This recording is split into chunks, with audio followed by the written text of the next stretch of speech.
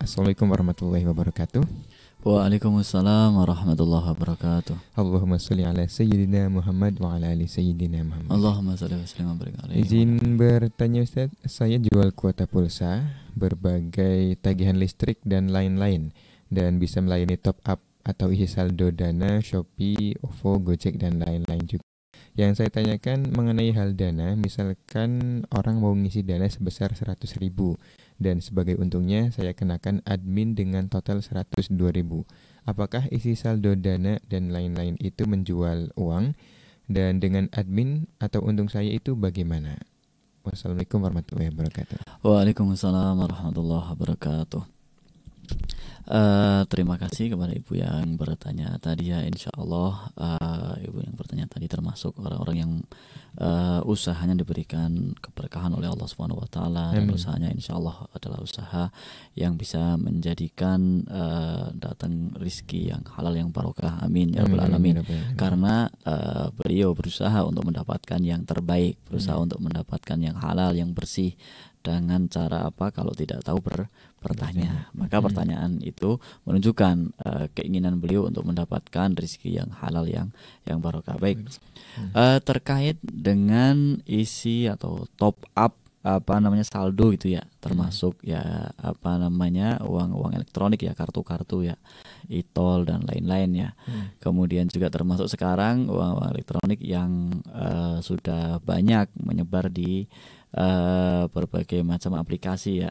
Ada ya macam-macam tadi saya nggak hafal apalagi. Kemudian uh, ada juga yang mungkin sekarang dari perbankan atau dari uh, koperasi yang membuat aplikasi hmm. yang di situ kan pasti ada saldonya ya saldo kita. Kemudian kita bisa untuk bayar ke sana bayar ke sini dan seterusnya. Nah uh, ketika kita uh, top up tadi salah satu apa namanya uh, uang elektronik kita. Kemudian di situ ada uh, eh, 2.500 ya admin. Hmm. Termasuk itu seperti apa? Apakah itu jual beli uang ada untungnya atau seperti apa ya? Uh, di situ perlu juga di apa namanya diperhatikan perusahaan-perusahaan yang semacam itu bagaimana prinsip dan konsep-konsepnya ya. Hmm. seperti apa? Apakah prinsip dan konsep-konsepnya adalah bahwa uh, itu hanya untuk memudahkan masyarakat saja dan uh, itu adalah hanya sekedar menyimpan uh, saldo kita atau uang kita di perusahaan tersebut sehingga nanti kalau kita perlu atau butuh untuk membayar sesuatu kita tinggal membayar dengan uh, apa namanya uang kita yang dititipkan di situ hmm. uh, seperti itu uh, kemudian diperhatikan juga ketika kita punya apa namanya punya saldo di tempat seperti itu apakah perusahaan tersebut uh, apa namanya bergerak atau atau apa namanya memutar uang tersebut dibisniskan diinvestasikan pada investasi-investasi yang syar'i apa tidak. Hmm. Karena terkadang mereka juga tidak mungkin kan hanya menyimpan uang tersebut saja di apa namanya di uh, kas mereka di saldo kas mereka.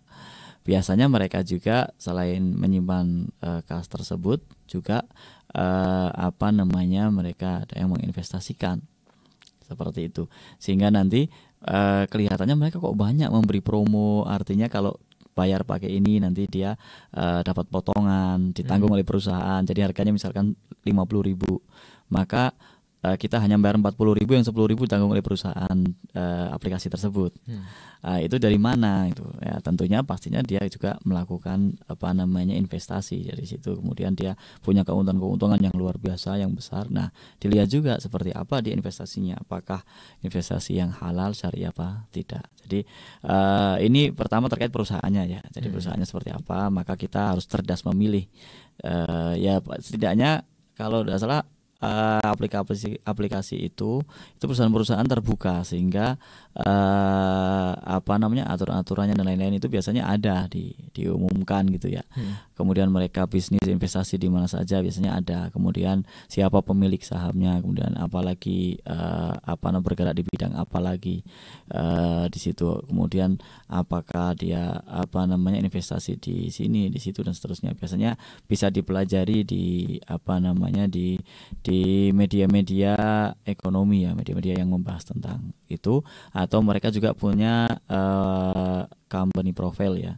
Uh, apa namanya company profile atau uh, profil perusahaan lah. Seperti itu. Jadi bisa dipelajari bisa di ini. Maka kita jangan sampai salah salah pilih. Kemudian juga mohon maaf apabila ada apa namanya perusahaan-perusahaan yang kemudian mendukung hal-hal uh, yang tidak uh, syari atau hal-hal yang melanggar syariat itu juga perlu kita perhatikan agar agar tidak apa namanya kita salah pilih ke sana sehingga uang kita masuk ke sana diinvestasikan pada hal-hal yang haram justru memperbesar perusahaan-perusahaan yang tidak syari perusahaan yang ini. Maka perlu perlu kita perhatian di dalam meletakkan dana kita dalam meletakkan uh, uang kita saldo kita kas kita. Jangan di sembarang oh ini lebih murah ini lebih apa namanya lebih e, menguntungkan, lebih mudah, kemudian tidak sering trouble dan seterusnya. Ya itu mungkin salah satu salah satu e, kelebihannya. Tetapi di situ dilihat apakah dia bergerak di bidang syariah atau tidak, atau dia memang hanya menyimpan saja, e, bisa saja seperti itu. Hmm. Baik, itu terkait perusahaannya. Kemudian terkait tadi transaksinya, nah itu transaksinya adalah apa namanya bukan jual beli uang ya. Jadi uh, memang apa namanya kita itu kalau misalkan ada orang ngisi saldo di saya misalkan ya uh, atau Kang Irfan lah Kang Irfan itu punya uh, usahanya di bidang isi saldo itu nah, saya ingin ngisi saldo uh, salah satu dompet elektronik saya misalkan aplikasi elektronik saya aplikasi keuangan saya ingin saya isi top up saldo sekarang seratus ribu ke Kang Irfan nah ketika Kang Irfan mentransfer ke uh, apa namanya nomor saya yang yang tadi apa namanya elektronik tadi hmm. Uh, berarti kan saya berhutang kepada Kang Irfan gitu kan? Saya berhutang kepada Kang Irfan. Nah kemudian utang tersebut saya bayar uh, sesuai dengan yang dia transfer 100 ribu misalkan. Hmm. dan saldo saya 100 ribu. Nah hanya saja Kang Irfan ketika transfer tersebut itu kan butuh alat, kemudian dia butuh uh, internet juga, hmm. kemudian dia juga butuh tenaga, pikiran, pengetahuan, maka dia berhak mendapatkan jasa, hmm. mendapatkan upah atau jasa. Nah biasanya disebutnya uang admin 2.500 itu, hmm. itu disebutnya jasa admin 2.500 dan itu bukan sesuatu yang yang haram ya, karena hmm. apa? Karena itu adalah jasa Nah, tadi kalau melihat ininya jasa, maka ya boleh namanya jasa ya. Dia memang bekerja, dia mentransfer, dia butuh ilmu, dia tahuan, dia butuh internet, dia butuh alat dan seterusnya. Hmm. Sah dia mengambil jasa 2500. Nah, tapi tadi yang diperhatikan adalah uh, uang kita ke mana?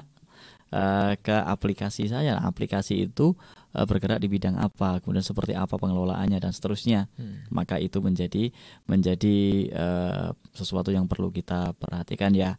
Kita tidak bisa atau tidak boleh menghukumi salah satunya kecuali kita sudah tahu dulu hmm. apa yang bergeraknya di mana dan seterusnya. Silakan dibaca sekarang literasi di mana-mana ya. Silakan dikunjungi uh, company profilnya, websitenya dan hmm. seterusnya hmm. diperhatikan seperti apa. Jadi seperti itu kurang lebihnya. Kalau uang tadi itu admin, admin itu adalah jasa atau upah atau ujroh hmm. ujroh dari anda mentransfer itu. Jadi bukan ini kok 100 ribu dibayarnya 102 ribu berarti yang 2 ribu riba gitu.